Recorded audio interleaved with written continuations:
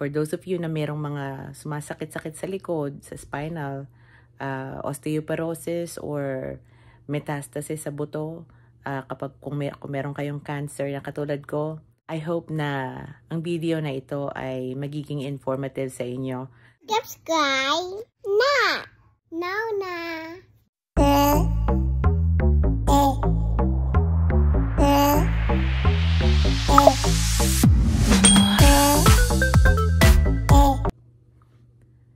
Hello po, kumusta?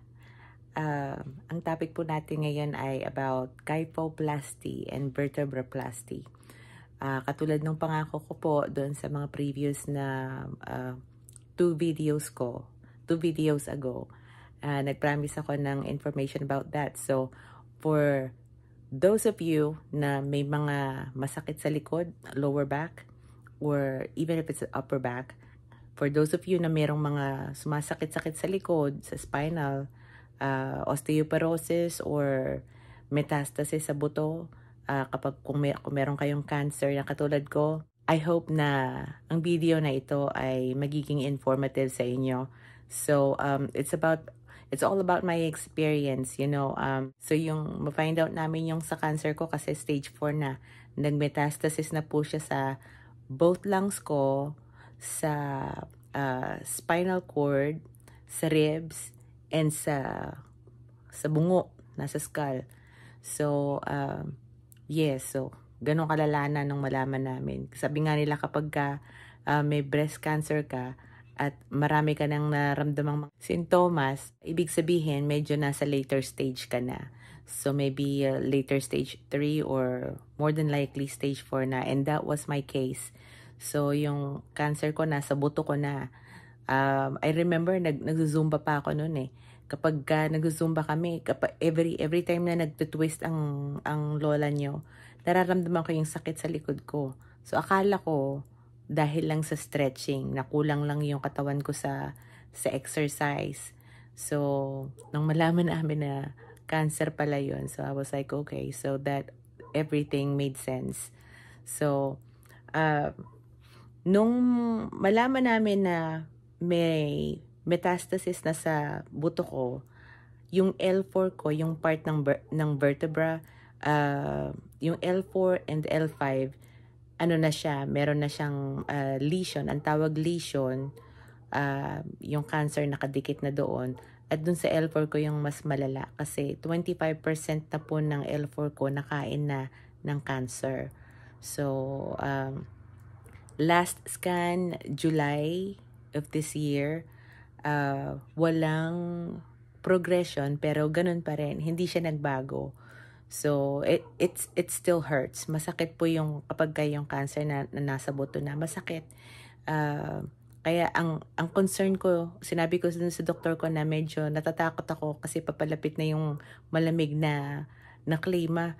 Uh, kapag uh, lumalamig mas sumasakit um, sabi ko sa kanya, ano kayang pwedeng natin gawin? Kasi ayoko talagang mag-take ng pain reliever. Um, ang, sa, ang suggestion niya is radiation. So, nag-try kami ng radiation. Um, binigyan niya ako ng nag-set, nag-set sila ng, uh, ng schedule for uh, 10 sessions of radiation pa, para sa pain para mag-ready sa winter, sa fall and winter. And um, first session, it was okay, but I did feel pretty bad uh, side effects kasi katulad nga sinabi ko dun sa previous na video ko, uh, dito sa belly area nila pinadaan yung ano eh, yung radiation eh. So, uh, kapag pala doon ang parte ng radiation, mas uh, mas medyo worse yung side effects. And that's what happened to me first radiation, na feel ko yung, yung um, side effects. Pero isinisi ko dun sa medyo pagod lang siguro ako. Kaya nakadama ako ng ganun. Kasi I, I felt so fatigued. I was very weak. I felt so weak. And um, parang masusuka. Yun, yun, very nauseous. Nasu parang, oo, yun, parang masusuka ka. Yun yung naramdaman ko. So, nagagaling ko lang sa ano nun eh, sa California. Umuwi ako dito sa Oklahoma. So akala ko napagod lang ako kasi hinatid ko si nanay ko doon sa California ano International Airport. Pero nung second session, the second day, after nung, nung session niya, mas doble yung side effect. So, um, as in, na-concern ako kaya nag-google na ako, nag-research research ako. Kasi hindi naman nila sinabi sa akin na ganun pala yung magiging side effects eh. Ang sabi nga sa akin ng doktor, wala, more than likely wala akong mararamdaman. Which is a lie. Siguro, dun sa ibang, siguro iba-iba sa mga pasyente, may iba na hindi ganong na apektuhan and uh, there are patients na katulad ko na as in talagang damang-dama ko yung, yung damang-dama ng every bit of my flesh yung side effects. So, anyways, uh, sa third session, nag, ah, nag-iisip ako bago ako malis ng bahay, itutuloy ko ba? tumuloy pa rin ako kasi nakaset na yung schedule eh. Tsaka kinonfirm ko na yung schedule. So, pumunta pa rin ako dun sa, sa radiation clinic. Pero pagdating doon habang naghihintay ako, sa isip-isip ko sabi ko, um, ayoko na. So, pumunta ako dun sa babae, dun sa yung receptionist. Nag-request na lang ako na kausapin yung doktor. So, sabi ko sa doktor, ayoko na. Kasi ganito nararamdaman ko. Mas, uh, bukod, pa, bukod pala dun sa side effects ng second session, as in, I felt a very, very sharp pain mismo doon sa L4 ko. So, imbes na ma, matulungan ako doon sa pain, mas lumala yung sakit. As in, grabe masakit. Umiiyak ako sa sakit kaya, yun sabi, sinabi ko yan sa doktor ko. Sabi ko, I, I don't think it's work, it was working. Hindi siya nag-work. Lumalala yung kondisyon ko. Plus, ang dai ko pang side effects na nararanasan. Ayoko na. Sabi ko, hindi ko natutuloy. E dito naman, maigi naman, hindi naman sila na may milit. Kaya, uh, nag-isip yung, yung doktor, yung radiologist. Sabi niya, sandali lang. Sabi, pinag-intay ako ng matagal dun sa, dun sa uh, kwarto, dun sa room Pagbalik niya, may suggestion siya. Sabi niya, kyphoplasty. Kyphoplasty or vertebroplasty. So, I have never heard anything about those before. So, uh, inexplain nila, inexplain niya sa akin na ang ang procedure ay magi inject ng cement doon sa parte ng buto na nakain na ng cancer. Para yung part na yon maging uh, hindi hindi siya mag mag-collapse you know? Kasi kaya kaya, kaya sumasakit kasi yung part na nakain ng cancer dun sa L4 ko katabing katabi niya yung mga uh, nerves ang daming nerves na nakapalibot doon sa uh, sa lesion ko kaya yung pain niya as in talagang ang pain na nararanasan ko dati uh, from my back going down, parang gumagapang siya papunta dun sa sa uh, sa hita ko, sa butt cheeks and down to my uh, legs. Yun yung pain na nararanasan ko dati. As in, masakit talaga siya. Nahihirapan ako matulog dahil sa pain. Pero, uh, yeah, the kyphoplasty and vertebroplasty, yun yung sinuggest ng radiologist. And uh, medyo nag, nag ano pa ako nun eh, as in, very skeptical ako kasi, syempre, di ba, isipin mo, uh, um, mag inject sila ng malaking, malaking injection dun sa likod mo and penetrate your spinal, spinal cord and inject the cement. What if uh, something goes wrong and I, sabi ko sa kanya, sabi ko sa doktor, I, I don't wanna get paralyzed. Ay, naisip ko agad yung magiging kondisyon ng pamilya ko kapag, kapag ka hindi na ako makatayo. Ayoko maparalisa. Pero sabi niya sa akin, well, kung uh, magko-collapse naman yung spinal mo, ganun din naman ang tungo. So, why not, why not, you know, try it? So, nagtapang-tapangan ang lola nyo. sabi ko, sige na nga. Tal- nagpray na lang ako na sana ano maging maayos which it turned out really good, you know.